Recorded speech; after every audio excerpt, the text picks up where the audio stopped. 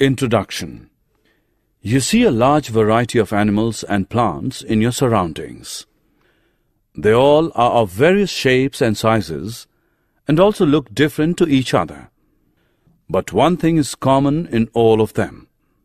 They all are made up of a small unit of life, that is, cell. So in this module, we are going to learn about cell and its structure. Objectives at the end of this lesson, you'll be able to know about the cell and its discovery, define unicellular and multicellular organisms, describe the structure of cell, explain the structure and functions of cell membrane, cell wall, cytoplasm, nucleus, vacuole, and plastids. Differentiate between the plant and animal cell. Introduction of cell A cell is the basic structural and functional unit of life. Experiment Take a small piece of an onion and peel off the skin with the help of a pair of forceps. Put this layer immediately in a watch glass containing water. Take a glass slide, put a drop of water on it, and transfer a small piece of the peel from the watch glass to the slide. Put a drop of iodine solution on this piece followed by a cover slip with the help of a mounting needle. Put this slide under low power followed by high powers of a compound microscope. All these structures are similar to each other. Discovery of cell Who discovered cell first? The cells were first discovered by Robert Hooke in 1665. He examined a thin slice of cork under a primitive microscope and saw that the cork resembled the structure of a honeycomb consisting of many little compartments. Robert Hooke called these boxes cells.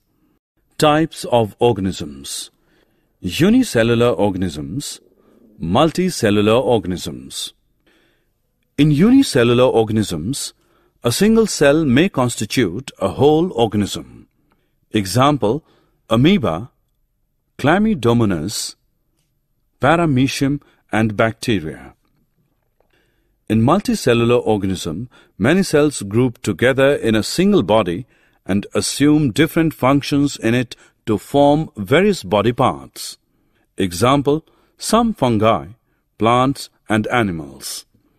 Each living cell has the capacity to perform certain basic functions that are characteristic of all living forms, that is, cells of heart to pump blood, cells of stomach to digest food, etc. Each cell contains certain specific components within it, known as cell organelles. Each kind of cell organelle performs a special function, such as making new material in the cell, clearing up the waste material from the cell, etc. Shape and size of cells. Shape of cells. Different organisms have different shapes. It is due to changes in the shape of cells. Amoeba keeps on changing its shape due to presence of pseudopodia. Generally, cells are round, spherical, or elongated. Some cells are long and pointed at both ends. Size of cells The size of cells in living organisms may be as small as a millionth of a meter, micrometer or micron, or may be as large as a few centimeters. The smallest cell is 0.1 to 0.5 micrometer in bacteria. The largest cell measuring 170 mm into 130 mm is the egg of an ostrich. Plasma membrane and its functions. What is a cell made up of? While studying the cell under a microscope, we will find three common features in almost every cell. Plasma membrane, nucleus, and cytoplasm which are responsible for all activities inside the cell and interactions of the cell with its environment. Plasma membrane. This is the outermost covering of the cell that separates the contents of the cell from its external environment. The plasma membrane allows or permits the entry or exit of some materials in and out of the cell. It also prevents movement of some other materials. The cell membrane, therefore, is called a selectively permeable membrane. Functions of plasma membrane Unicellular freshwater organisms and most plant cells tend to gain water through osmosis. Absorption of water by plant roots is also an example of osmosis. Thus, diffusion is important in exchange of gases and water in the life of a cell. Cell wall and its functions. Cell wall. Plant cells have another rigid outer covering called the cell wall that lies outside the plasma membrane. The plant cell wall is mainly composed of cellulose. Cellulose is a complex substance and provides structural strength to plants. Functions of cell wall. Cell wall provides the rigidity and strength to cell and also permits the cells of plants fungi, and bacteria to withstand very dilute hypotonic external media without bursting by building up pressure against it. Cytoplasm and its functions. Cytoplasm. The cytoplasm is the fluid content inside the plasma membrane. It also contains many specialized cell organelles. Each of these organelles performs a specific function for the cell. Functions of cytoplasm. In cytoplasm, all cell organelles are embedded. Nucleus and its functions. Nucleus. The nucleus has a double-layered covering called nuclear membrane. The nuclear membrane has pores which allow the transfer of material from inside the nucleus to its outside, that is, to the cytoplasm. The nucleus contains chromosomes, which are visible as rod-shaped structures only at time of cell division. Chromosomes contain information for inheritance of features from parents to the next generation in the form of DNA, deoxyribonucleic acid molecules. Chromosomes are composed of DNA and protein. Functional segments of DNA are called genes. Whenever the cell is about to divide, the chromatin material gets organized into chromosomes. In some organisms, like bacteria, the nuclear region of the cell may be poorly defined due to the absence of a nuclear membrane. These organisms are known as prokaryotes. Organisms with cells having a nuclear membrane are called eukaryotes. Functions of nucleus The nucleus plays a central role in cellular reproduction the process by which a single cell divides and forms two new cells. It also regulates the cellular activities. Vacuoles Vacuoles are storage sacs for solid or liquid contents. In animal cells, the size of vacuoles is small, while plant cells have very large vacuoles.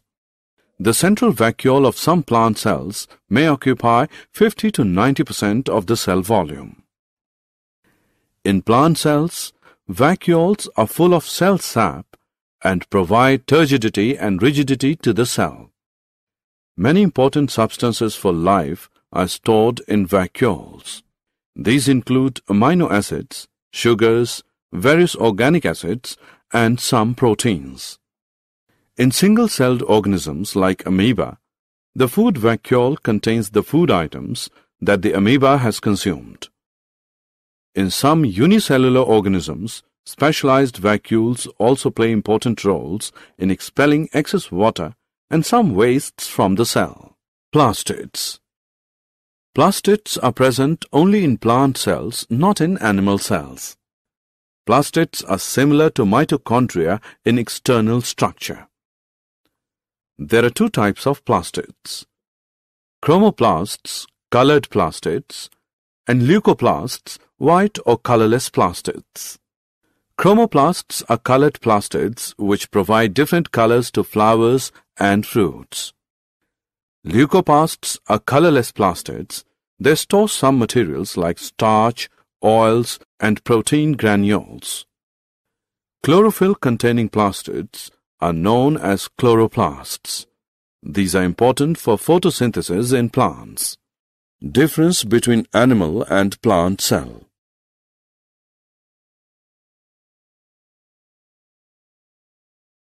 Summary Let us summarize what we have learned. In 1665, Robert Hooke discovered cell first. On the basis of presence of single or many cells, the organisms are of two types, unicellular and multicellular organisms. Each cell contains certain specific components within it, known as cell organelles that perform a special function. Plasma membrane is the outermost covering of the cell that separates the contents of the cell from its external environment. Plasma membrane also works as selective permeable membrane by allowing or permitting the entry and exit of some materials in and out of the cell while preventing some other materials. Vacuoles are storage sacs for solid or liquid contents. In animal cells, the size of vacuoles is small, while plant cells have very large vacuoles. Plastids are present only in plant cells, not in animal cells. Plant cells have another rigid outer covering called the cell wall that lies outside the plasma membrane. The plant cell wall is mainly composed of cellulose and provides strength to the cell.